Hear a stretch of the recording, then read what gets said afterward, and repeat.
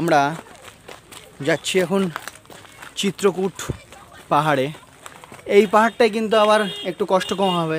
দেখো, এরকম বেশ হেঁটে চলার জন্যে রাস্তা করে দেওয়া আছে। তার জন্যে একটু কষ্ট হলে কম হবে।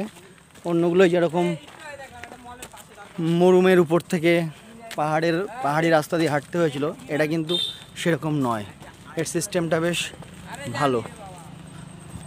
দেখো, চিত্রকূট পাহাড়ের আমরা উপরে চলে এসেছি। চিত্রকূট কেন বলবে? আমার একটা তো ধারণা আসতেই পারে এবার তোমাদের যে, দেখো, প্রত্যেকটা যে পাহাড়, পাহাড়ের যে গায়ে যে ছোট্ট ছোট্ট ছোট্ট ছোট্ট পাথর আছে, সেই পাথরগুলোতে দেখো প্রত্যেকটাই চিত্র আঁকা। প্রত্যেকটাই কিন্তু কোনো না কোনো চিত্র আঁকা। সেই কারণের জন্যেই এই পাহাড়টার নাম হয়েছে চিত্রকূট পাহাড়। কারণ প্রত্যেকটা দেখো পাহাড়ের গায়ে কত সুন্দর করে এঁকে রেখেছে। বেশ দেখতে কিন্তু ভালো লাগছে। দেখো প্রত্যেকটা মহাদেবের সঙ্গে জড়িত এবং মহাদেবেরকে নিয়ে এঁকেছে। প্রত্যেকটা পাহাড়ে বেশ অন্যরকম লাগছে কিন্তু দেখতে।